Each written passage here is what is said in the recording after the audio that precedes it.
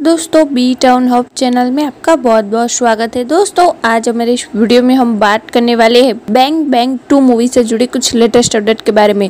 तो दोस्तों, video start करने से पहले आपने इस चैनल को अभी तक सब्सक्राइब नहीं किया तो कुछ प्लीज़ सब्सक्राइब ज़रूर कर दे और साथ में बेल आइकन को ज़रूर प्रेस कर दे ताकि हमारा वीडियो अब तक पहले पहुँचे।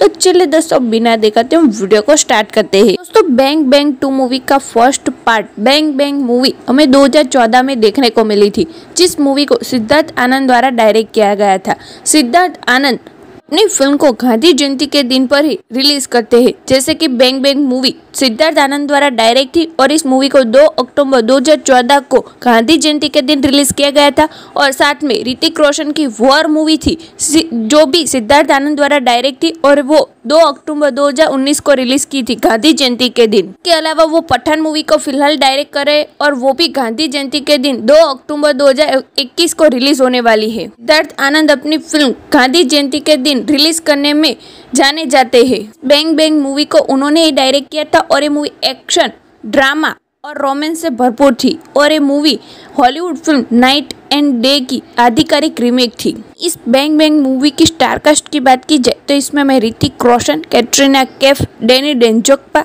जावेद जाफरी जैसी बढ़िया स्टारकास्ट देखने को मिली थी। वहीं इस मूवी को प्रोड्यूस किया था फॉक्सटार स्टूडियो के बैनर तले। वहीं इस मूवी को म्यूज़िक दिया था जाने माने सिंगर विशाल शेखर ने। बैंग बैंग मूवी की बजट की बात की जाए तो इसको पैंसठ करोड़ के बजट पर बनाया गया था। और ये मूवी ने बॉक्स ऑफ़िस पर 200 करोड़ से ऊपर की कमाई करके ब्लॉकबस्टर रही थी। ऐसी ब्लॉकबस्टर मूवी का मेकर्स दूसरा सिक्वल बनाने जा रहे बैंग बैंग टू मूवी और इस मूवी को भी डायरेक्ट सिद्धार्थ आनंद ही करेंगे और प्रोड्यूस करेंगे फॉक्सटार स्टूडियो स्टार कास्ट की बात की जाए तो इसमें मैं ऋतिक रोशन के साथ दीपिका पादुकोण इस बार नज़र आने वाली है। कैटरीना कैफ की जगह पे। वही म्यूज़िक की बात की जाए तो ए आर रहमान देने वाले हैं। इस बार बैंक बैंक टू मूवी को 80 करोड़ के बजट पर बनाया जाएगा और ये मूवी बॉक्स ऑफ़िस पर 300 करोड़ से ऊपर की कमाई कर सकती है ऐसा अंदाज़ा लगाया गया है। इसके अलावा ऋतिक रोशन अपने फैंस के लिए फाइटर मूवी भी लेकर आ रहे हैं, जो सिद्धार्थ आनंद द्वारा डायरेक्ट है और इस मूवी का ऑफिशियल अनाउंसमेंट हमें उनके बर्थडे के दिन देखने को मिला था और इसमें भी उनके साथ लीड एक्ट्रेस के तौर पर दीपिका पादुकोण देखने को मिलेगी। तो दोस्तों, आप ऋतिक रोशन की ए बैंग बैंग टू।